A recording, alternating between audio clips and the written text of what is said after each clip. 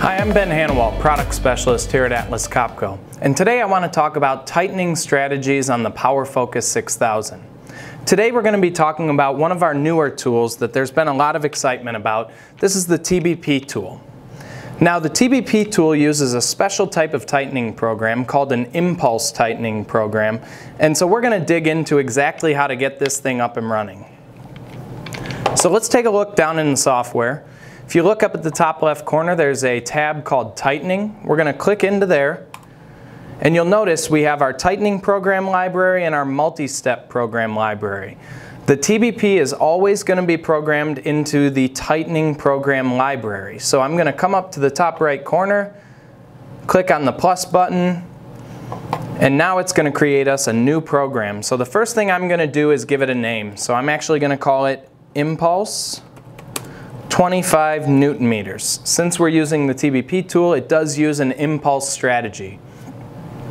Now if I come into the strategy tab, I can come in, change, and you can see down at the bottom we have an option for impulse single step. So I'm going to click on that and you're going to notice that we have a whole bunch of red exclamation marks. This indicates that there is some sort of an issue with the tightening program. So as we program it, our intention is to get rid of all of those and make sure we have a valid tightening program.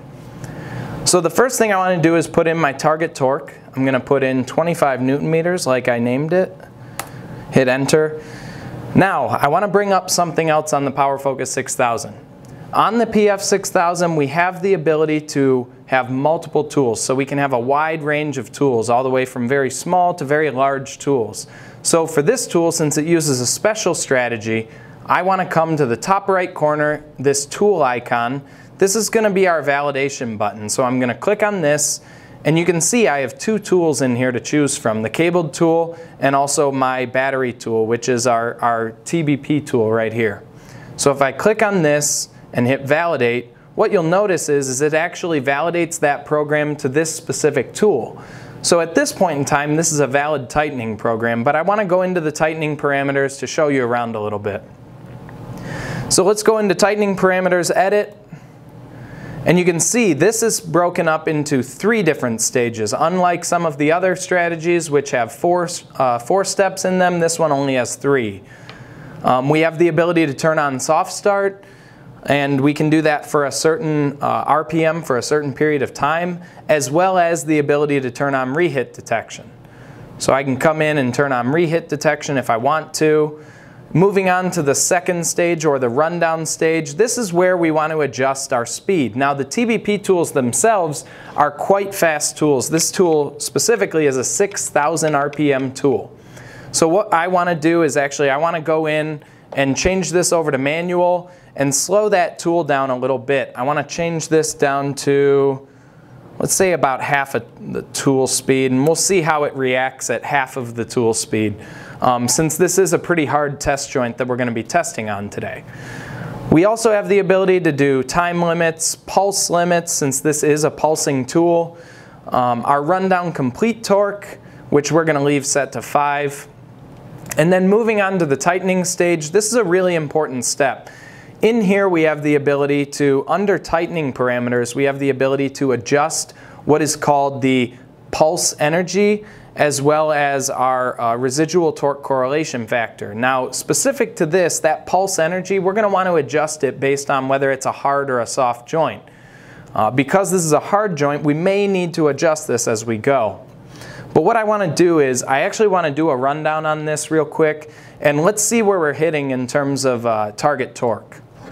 So if I come to my results tab, and give this guy a loosen real quick and then tighten it down.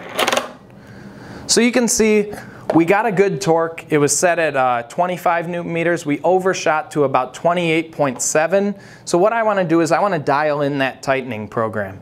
So I'm going to come back into my tightening program and I'm actually going to adjust that pulse energy. I'm going to adjust it slightly down and what this does is it actually puts less energy into each one of the pulses from the pulse unit. So if I take this from 80% down to about 50%, let's check our, check our program. So now when I go back in and I rerun it down changing that pulse energy. Let's see. So you can see it went from overshooting to 28.7 all the way down to 25.04 just by adjusting that pulse energy. Um, and that's really all there is with this TBP tool. They're, they're very uh, simple tightening programs. We do have the ability to add in time and angle limits if we would like to. Um, we would just come into our final step and turn on angle, time, or also pulse limits. We're going to leave those off just for this example, but I want you to keep something in mind.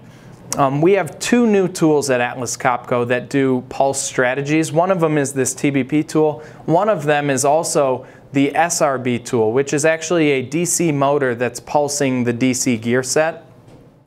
They're going to be programmed very similar. I can show you the differences right now.